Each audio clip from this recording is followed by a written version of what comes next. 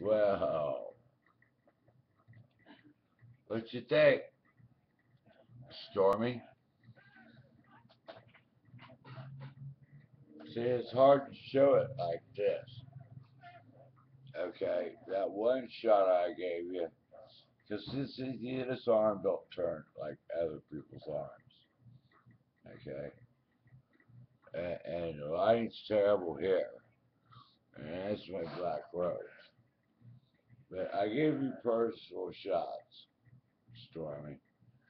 And the first one I said she's probably the best. You can't see my back. That's a heart on a lower arm.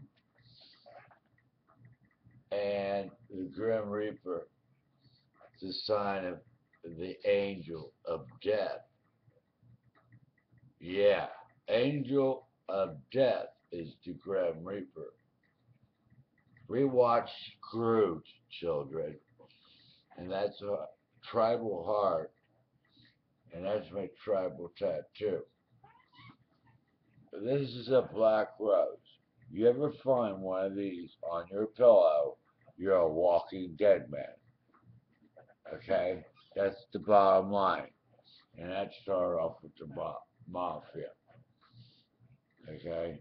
And then I could almost get this perfect, but see my arm won't move no more. This is a very hard tattoo to show. But thanks, Bob. I really appreciate it. Uh, it's just like the picture, except for uh, they didn't put the white in. That's what they didn't do because the white would have faded out. Okay, but there's a lot of good color in it. All my stuff's done professional. Uh, I don't have no jailhouse bullshit on my body. Oh, by the way, I got new glasses today. Who loves you, baby? This goes straight to Stormy.